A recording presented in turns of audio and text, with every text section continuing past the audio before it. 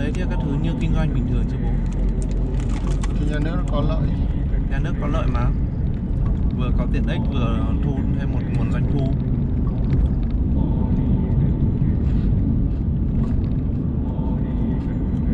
Nên cái hình thức đấy nó đang dần dần phổ biến trên thế giới. Hình thức đấy nó mới. Đặc biệt là cái món Smart City của con là hay dùng hình thức đấy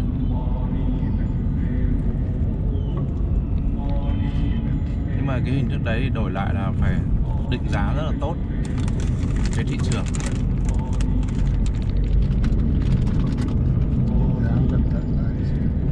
Là nó nó bất công cho hai bên. Cho một trong hai bên, ví dụ như là mình thấy là cái khai thác cái wifi chẳng hạn. Trên thực tế là đầu tư các ông đầu tư mất 10 tỷ thôi.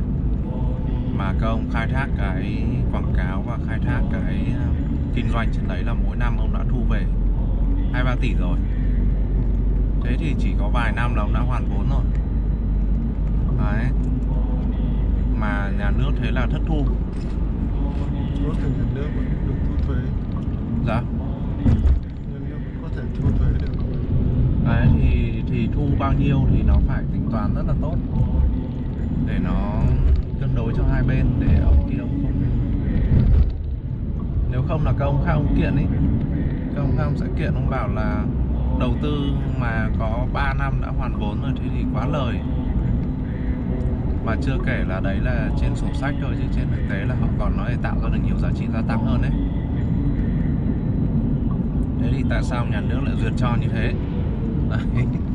kiểu vậy. Nên là nó cũng đòi hỏi cái tính toán dòng tiền và cái định giá nó rất là tốt. Bởi vì định giá ở đây, cái mà nhà nước cho ấy nó toàn là những giá trị vô hình thôi. Mà không phải chuyên ngành của ông nhà nước, nên là chỉ có ông tư nhân là ông ấy rất là thính trong cái chuyện là làm cái này lời hay lỗ. Bởi sẽ không có chuyện giao mà. Nên là nếu như sau một thời gian doanh nghiệp họ hoàn vốn rồi, ông nhà nước không thể ông bảo ông doanh nghiệp là giả lại cho nhà nước được. Đấy, ông mà như thế thì thì doanh nghiệp nó giả cũng được thôi, nhưng ông không người vận hành. Ừ, vì nó không phải là cái nghề của ông. Đấy, giao cái việc ừ, chuyên môn cho một cái nhóm người không chuyên môn chẳng hạn, thì nó lại hệ thống nó xuống cấp nhanh lắm. Thế nên là ông nhà nước cũng không ôm được cái đấy vào làm gì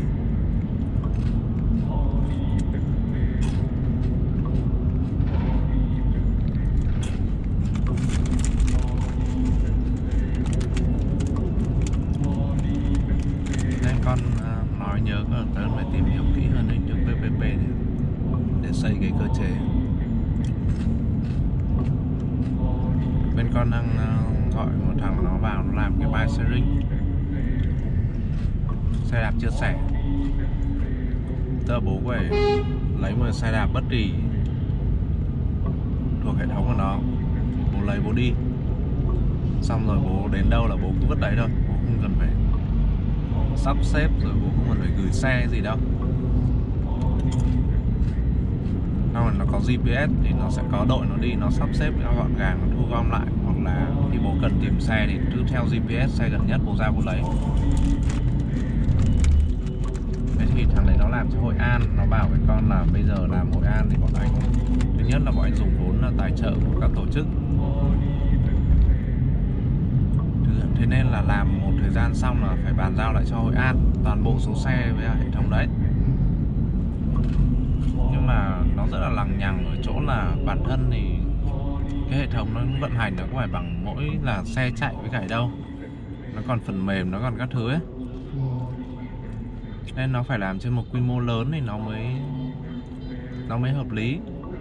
Chứ bây giờ nếu mà Hội An tách đơn lẻ ra thì cái hệ thống phần mềm nó là thừa. Mà đưa cho các ấy vận hành phần mềm các bác cũng không biết vận hành đâu. Nó không các bác sẽ không biết vận hành cái mô hình bike sharing đấy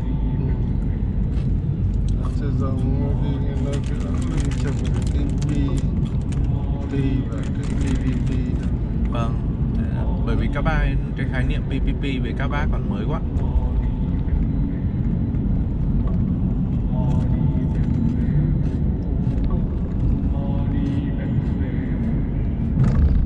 Nhưng xây cái chính sách cho PPP cũng khó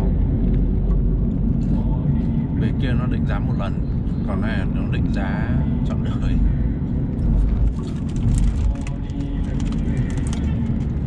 Nó sẽ làm cho phát triển nhân nó vừa thúc đẩy phát triển tư nhân nó vừa thúc đẩy tiện ích tiện ích chung và người dân đều được hưởng lợi.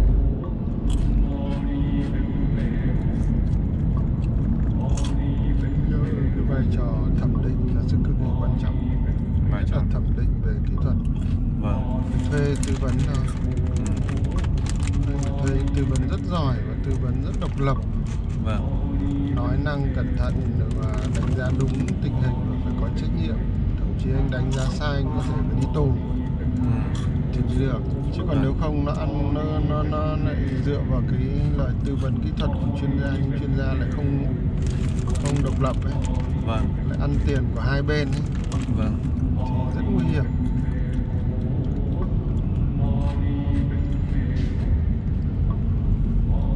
Lại nói kiểu nói tốt cho bên kia nói xấu nói nọ nói kia thì lâm ra là tình hình rồi mà đầy mình hậu thức không hóa chuyên môn mình làm sao mà biết được? Cái gọi là independent của mình rất khó nói về independent. Mình nó quen cái, cái văn hóa là tự làm tự báo cáo thành tích rồi. Vâng. Không không tin vào thằng khác. Và cái vai trò của nhà nước nó lớn quá cái bóng của nhà nước nó lớn quá vì là tư nhân của mình nó yếu nó bé vâng cho nên là là, là ông nhà nước ông không tin vào những cái thằng vớ vẩn. Ừ. vì ông nghĩ ông có bề dày cả bao nhiêu năm có cả một hệ thống rất là lớn cho nên là ông rất khó tin vào cái một cái thằng mới lên.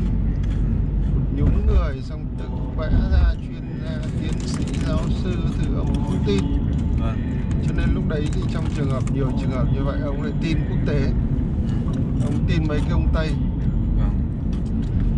Tin mấy cái ông tây thì cái việc tuyển chọn biết tiêu hoa rồi là các thứ ông phải có năng lực. Vâng. Chứ nếu mà không ông lại tuyển mấy cái ông tây dở thì ông cũng chết. Đấy, tình hình này nó cứ như thế thế thì cái cơ chế thì cách làm các thứ thì nó là cả cái yếu tố người ta không nói ra người ta không biết được. Như là mình hiểu như thế nên là nó cứ lồng nhùng rồi lại còn một đám nó lại ờ, sắp sửa về hưu hay là một đám nó lại sắp phá dối vâng. trong cái hệ thống nhà nước nó ghét nhau thế là nó cứ thế là thằng nọ làm tốt mấy tốt nó vẫn cứ ghét nó vẫn chọc vào. Chứ nó không làm được. Không làm sẽ gặp phải một cái tình trạng như vậy. Hiện nay tình trạng đang bị như vậy. Ừ. Muốn nâng cảm này. Bọn làm chẳng được nhưng cũng ngồi phá cho mình linh tinh cả.